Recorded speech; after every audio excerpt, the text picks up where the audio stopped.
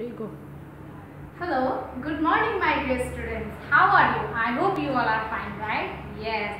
So, welcome to the third day of class social. यो हाम्रो third day हो class सोसलको हो कि न यस हामीले फर्स्ट डेमा के पढेको थियौँ सोसल स्टडिजको स्पेलिङ पढेको थियौँ हो एन्ड सेकेन्ड डेमा what is your name so we are going to revise it फेरि हामीले फेरि यो पढ्नेछौँ र फेरि आजको लेसनतिर जाँदैछौँ ल अब हामी सबैले बोर्डमा हेर्ने look at the board okay now here question question is here so what is your name what is your name तिम्रो नाम के हो।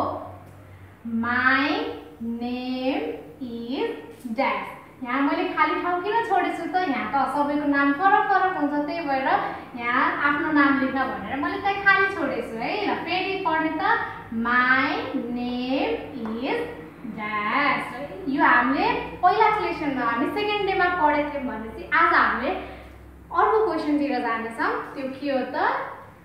Question number नेक्स्टको in which class do you study in which class do you study so हामीले पहिला spelling सहित पढ्ने है ल I N in I N in W-H-I-C-H which W-H-I-C-H which C-L-A-S-S class C-L-A-S-S class D-O-Do D-O-Do Y-O-U U Y-O-U U S-T-U-D-Y.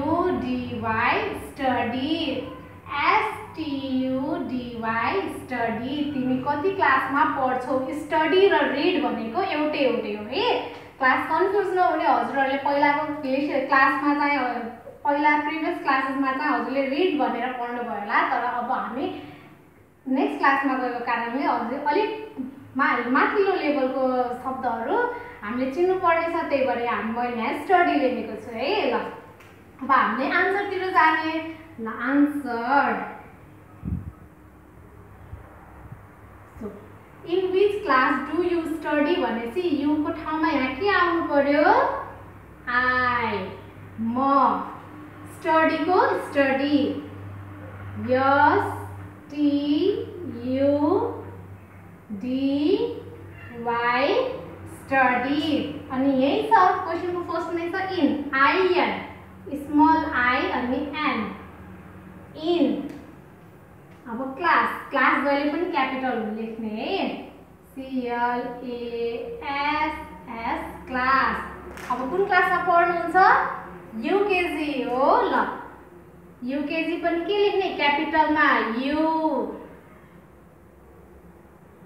के G ना।